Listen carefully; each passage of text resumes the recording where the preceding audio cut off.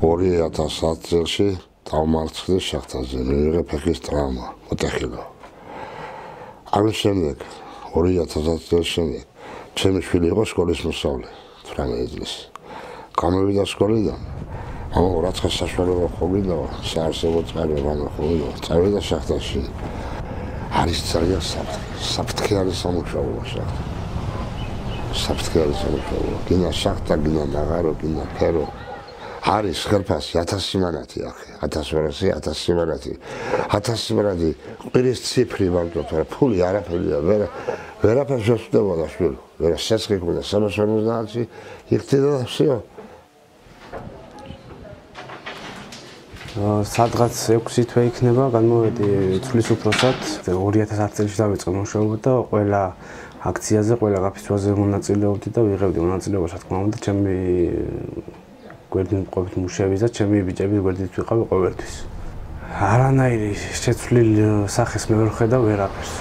ერთადერთი ის მაინტერესებდა, ის გვაინტერესებს ჩვენ შახტიორებს, რომ ვის უნდა მოთხოვოთ პასუხებიან ყველაფერზე, ვის უნდა მოთხოვოთ რამე რაც ხდება. სახელმწიფოს პასუხი ის აქვს ყოველთვის და ყოველთვის ამას ამბობენ, რომ ეს არის კერძო კომპანია და უნდა მოთხოვოთ კერძო პირებს.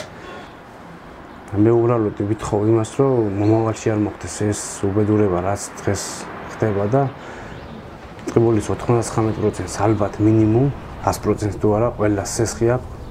დაჭვებით ვართ ამბული, რომ იზოლებული ვართ, მიმუშაოთ ეს ბანკის ვალები დავფაროთ.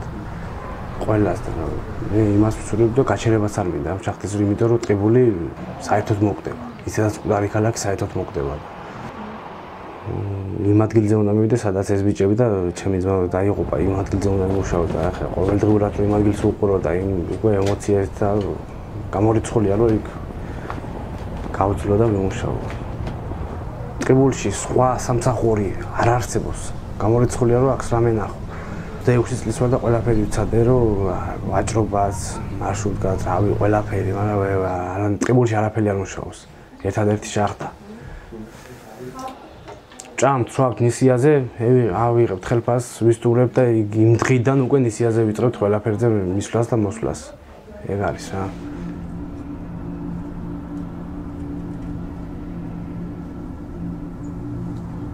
ყველას მოგიწოდებთ რომ გადახვიდეთ.